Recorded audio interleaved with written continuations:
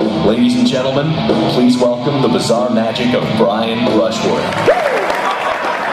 All right, so here's the thing. As long as I can remember, I've always wanted to do weird, bizarre, freaky magic. But when I was a kid, I never had any money, so I had to buy junk at uh, garage sales, which meant a lot of secondhand busted crap.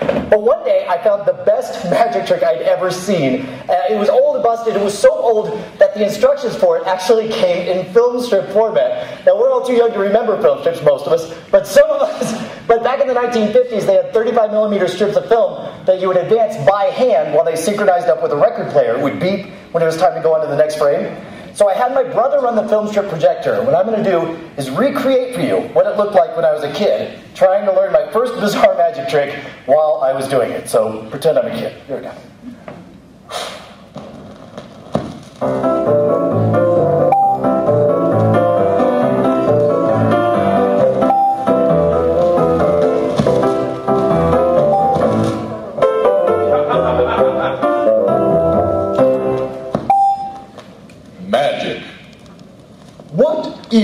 Magic? Magic is an ancient and mysterious art. Magic is also a fun, hilarious, and wacky way for you to entertain your parents, the postman. Yes, even astronauts are amazed by magic. But how can you use magic to entertain all these people? The idiot skewer through tongue trick. Yes, everything you need to perform this incredible illusion is included in the box. Start by selecting a volunteer from the audience. let me get a girl to help me out. Asking her to join. Uh, yeah, I saw your hand first. Let's give her a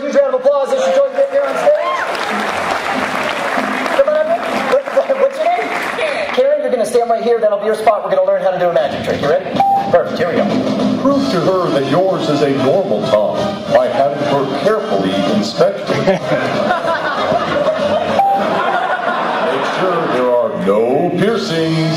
Uh, no, my When your volunteer is confident that yours is a normal, unaltered tongue, you can move on to the next step. All right, perfect. Now reach into the box and pull out the long skewer. Just as she inspected your tongue, have your volunteer carefully examine your skewer. Make sure it's unaltered and ungimmicked. Right. When your volunteer is satisfied that there's nothing tricky about the skewer, you're ready to begin.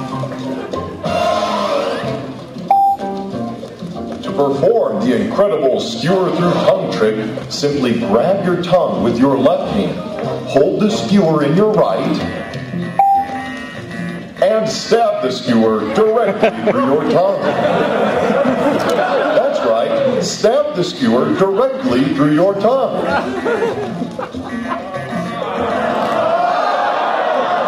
At this point, your audience should be very amazed. Enthusiastic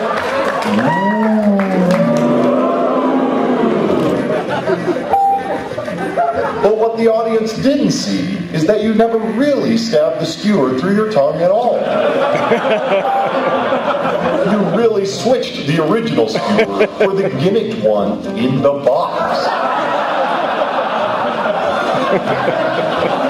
Aren't you clever? If by mistake you forgot to perform the switch and instead stabbed yourself with the original skewer, don't panic. Simply reach into the box and pull out the pair of emergency shears designed for just such an occasion. Take those emergency shears, hold them up to the problem area, and simply cut it off. That's right, cut it off.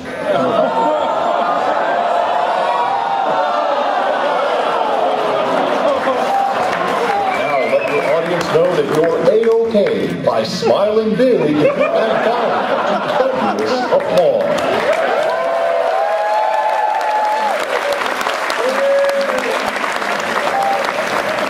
Now you couldn't have performed this illusion by yourself, so thank your volunteers by giving her the skewer. It will serve as a perfect reminder of how much fun you've had today.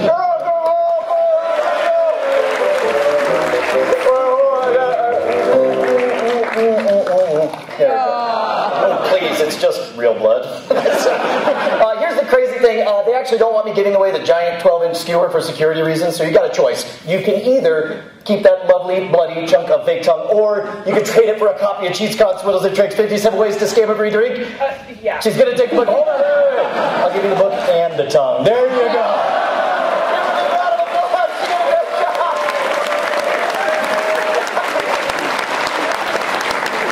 Uh, and, and by the way, I know uh, I made some promises. People were asking if it was appropriate to bring their kids. I know people brought their kids. Uh, I don't want to get in trouble later, so let me just make it clear now. Uh, kids, if, if you go home and, and you cut off your tongue, it grows back instantly. It is awesome.